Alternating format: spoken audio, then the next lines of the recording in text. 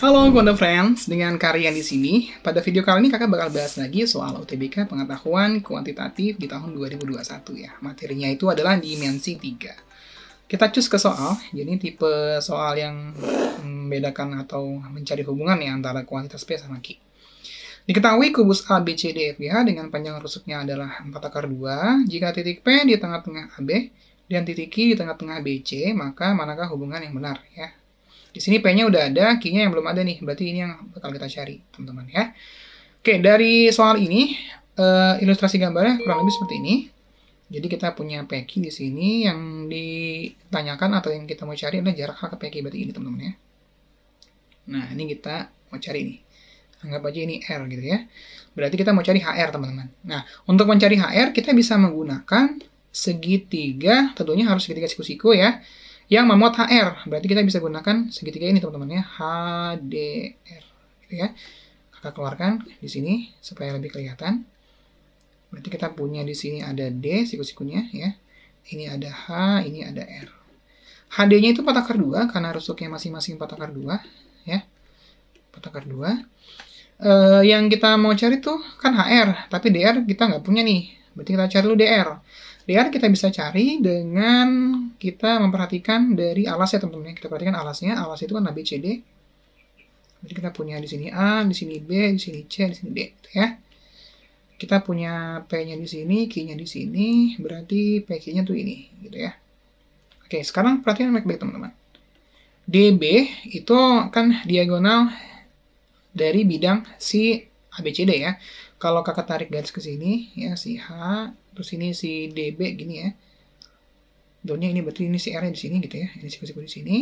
Terus kita ambil sesuai sama tengah-tengah ini juga ya, kayak PQ juga di sini. Nah, sekarang kalian perhatikan baik-baik teman-teman.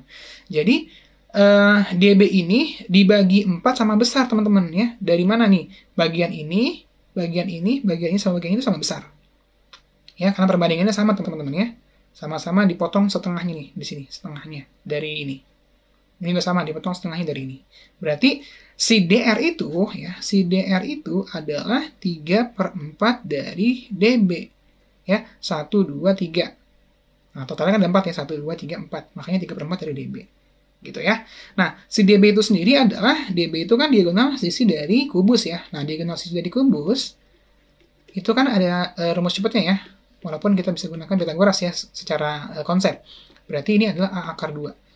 A itu adalah rusuknya, berarti 4 akar 2 rusuknya dikali akar 2. 4 akar 2 dikali akar 2, ya akar 2 dikali akar 2 itu adalah 2. 2 dikali 4 berarti 8. Gitu ya. Berarti ini si DR-nya bisa kita cari jadi 3 per 4 dari 8. Berarti adalah 8 bagi 4, 2. 2 dikali 3, 6. Oke si DR-nya udah ketemu, tinggal kita cari si HR, yaitu dari uh, jarak H ke PQ ya, sama aja ya. Berarti HR-nya itu adalah 6 kuadrat ditambah 4 akar 2 kuadrat. Berarti 36 ditambah 4 kuadrat itu 16 ya. Akar 2 juga dikuadratin juga nih, hati-hati ya. Akar 2 dikuadratkan jadinya 2. Berarti 16 kali 2 itu berarti 32. Berarti akar uh, 6, 8. Nah, sekarang kita bandingin nih, ini kan jarak H ke PQ ya, atau HR itu akar 68. Kita membandingkan hubungannya antara si P sama Q. Nah, P-nya itu nama akar 2, gedean mana nih? Kan belum terlalu kelihatan nih. Nah, nama akar 2-nya kita ubah aja. 6 itu kan akar 36. Ya, akar 36 itu dikali akar 2 berarti akar 36 kali 2 berarti uh, 72. Nah, 72 sama 68 kelihatan dong gedean mana? Gedean 72 tentunya. Makanya jawabannya gedean P, yaitu yang yang A gitu ya. Oke, sampai sini dulu teman-teman. Semoga bermanfaat. Nantikan video dari kalian selanjutnya. Thank you.